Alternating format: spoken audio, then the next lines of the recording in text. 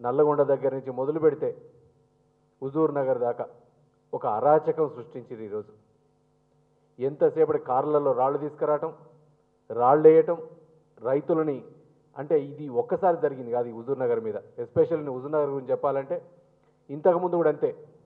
ఇదే వంద కార్లతోటి హుజూర్ నగర్కి వచ్చి ఎస్ఐఎల్ని సిఐఎల్ని తలకాయలు పగలగొట్టి ఇదే రకం దండయాత్ర చేసిండు. మళ్ళీ ఈరోజు ఇదే యాత్ర మొదలుపెట్టిండు. ప్రజలందరూ కూడా భయకంపితులను చేస్తూ ఉన్నారు.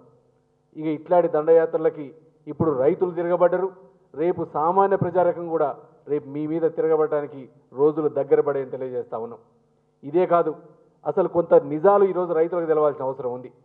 మీరు సిఎంఆర్ రైస్ అంటే కస్టమ్ మిల్లింగ్ రైసు దాదాపు లక్షల టన్నులు ఆడుంటే ఇరవై శాతం కూడా ఇంతవరకు ఎఫ్సిఐ ప్రొక్యూర్ చేయలేదు. ఏమనంటే మిల్లులలో మొత్తం ప్లేసులు జాగా లేకుండా మొత్తం నింపి పెట్టించిండ్రు.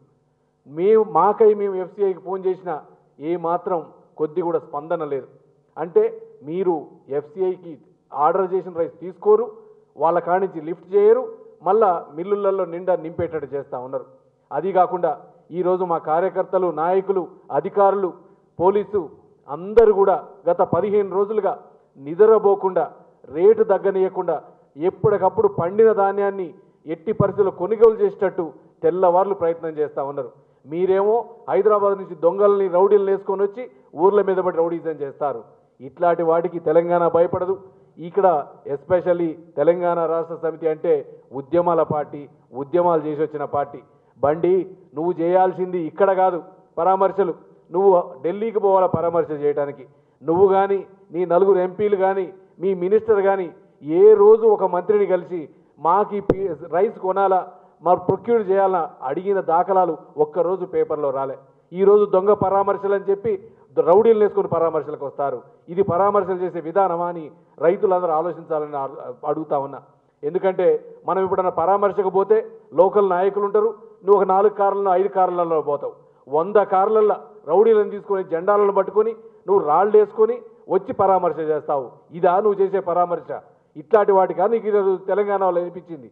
కాబట్టి బండి సంజయ్ గుర్తుపెట్టుకో ఇది మొదటి ఆరంభం నీకు. నువ్వు ఈ రోడ్ల మీద తిరగాలంటే నీ భాష వేషం అన్నీ మార్చుకోవాల్సిన అవసరం అవుతుంది. ఈరోజు నువ్వు ఏ రకంగా అయితే నిన్ను రైతులందరూ తిరగబడి చేసిరో రేపు ముందు ముందు తెలంగాణ రాష్ట్రం అంతా నీ బీజేపీ నాయకత్వాన్ని అంతా కూడా ఇదే పరిస్థితి వస్తుందని తెలియజేస్తా ఉన్నా. బీజేపీ నాయకులందరూ మీరు మీ భాషలు మార్చుకోవాలా? మీ యాటిట్యూడ్ మార్చుకోవాలా? ఈ రాష్ట్ర ప్రజానికానికి ఏది చేస్తే ఉపయోగం?